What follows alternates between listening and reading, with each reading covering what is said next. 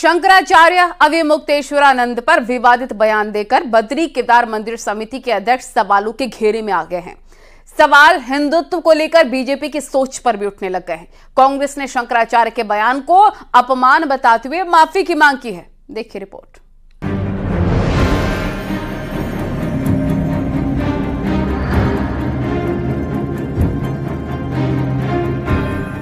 ज्योतिर्मठ पीठ के शंकराचार्य स्वामी अविमुक्तेश्वरानंद ने केदारनाथ सोना चोरी का मुद्दा उठाया तो आरोपों को गलत बताने की बात बद्री केदार मंदिर समिति के अध्यक्ष अजेंद्र अजय ने कही। पर मसला सिर्फ़ इतना भर नहीं है, अजेंद्र अजय ने स्वामी अविमुक्तेश्वरानंद के शंकराचार्य होने पर ही सवाल उठा दिया और कहा कि अविमुक्तेश्वरानंद शंकराचार्य है या नहीं, इस बहस में वो पढ़ना नहीं चाहते। बीजेपी नेता अजेंद्र अजय ने तो यहाँ तक कह दिया कि शंकराचार्य नेताओं से ज़्यादा प्रेस कॉन्फ्रेंस करते हैं और कांग्रेस का एजेंडा आगे बढ़ाते हैं। देखिए, एक संत के रूप में स्वामी अभिमुक्तेश्वरानंद जी का मैं बेहद सम्मान करता हूँ, और वो शंकराचार्य हैं अथवा नहीं है, इस बहस में मैं भी नहीं पढ़ना चाहूँगा। किंतु इतना मैं बताना चाहूँगा कि संत होने के बावजूद स्वामी अभिमुक्तेश्वरानंद जी जितनी प्रेस कॉन्फ्रेंस करते हैं, रिकॉर्ड संख्या में प्रेस कॉन्फ्रेंस अगर आप देखेंगे, इतना तो कोई राजनेता भी प्रेस कॉन्फ्रेंस नहीं करता है। मामला सोना, शिव, सनातन, शंकराचार्य से जुड़ा तो सियासत ने ज़ोर पकड़ लिया। पूर्व मुख्यमंत्री हरीश रावत ने कहा कि शंकराचार्यों के मामलों में ऐसी बातें अपमानजनक हैं। तो अजेंद्र अजय ने फिर कहा कि संत का सम्मान है पर किसी एजेंट का नहीं जो उत्तराखंड को बदनाम कर रहा है। दर्द तो वहीं जहाँ दिल होगा वहीं तो दर्द भी होगा। तो स्वाभाविक तौर पर जो है शंकराचार्य जी उसमें कुछ कहेंगे। यदि उन्होंने जो कुछ कहा है वो भाजपा को या भाजपा के किसी व्यक्ति को नापसंद है कोई बड़ा सरल सा मामला है कि उनको कांग्रेस का एजेंट बना बता दो।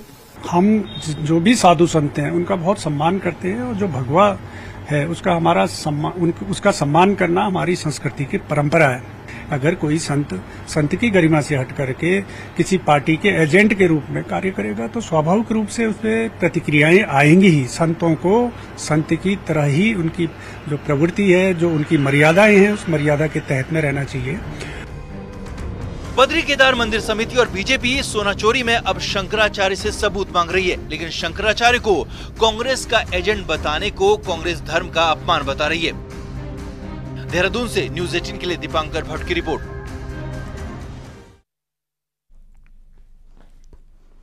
और इस बीच एक बड़ी खबर, बद्री केदार मंदिर समिति के अध्यक्ष के बयान के बाद ज्योतिर्मठ की सीईओ सीपी उपाध्याय का भी बयान सामने आया। उन्होंने मांग की है कि केदारनाथ में सोना गायब होने की सीबीआई जाँच की जाए। बद्री केदार मंदिर समिति के अध्यक्ष अजेंद्र अजय पर करप्शन के आरोप लगाए गए हैं और कहा है कि शिकायत सार्वजनिक होनी चाहिए। उन्होंने सवाल किया कि मंदिर के गर्भगृह की फ़ोटो कैसे वायरल हो गई, जबकि वहाँ पर फोटोग्राफी बैन है। शंकराचार्य को कांग्रेस का एजेंट कहने पर ज्योतिर्मठ के सीईओ सीपी उपाध्याय ने कहा कि मंदिर समिति के अध्यक्ष संयमित भाषा का इस्तेमाल करें। और किसके खिलाफ बयानबाजी कर रहे हैं ये पता होना चाहिए।